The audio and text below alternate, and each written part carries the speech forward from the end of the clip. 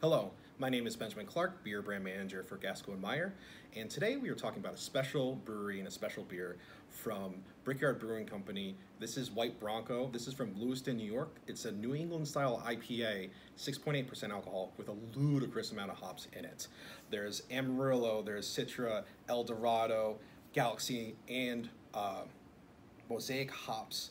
And this is going to give the beer uh, a lot of stone fruit, super luscious kind of flavor, pulpy citrus, a little bit of melon on the back end. Um, it is really tasty, and we'll pour it in a second. Um, ooh, this is fresh. You can smell it right off the nose. It is a super hazy beer. It smells great.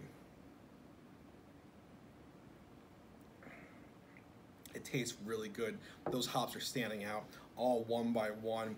It almost leaves you questioning, is this beer or is this OJ? And as I like to say, if the beer fits, I sips. Thank you for watching. I'm Ben.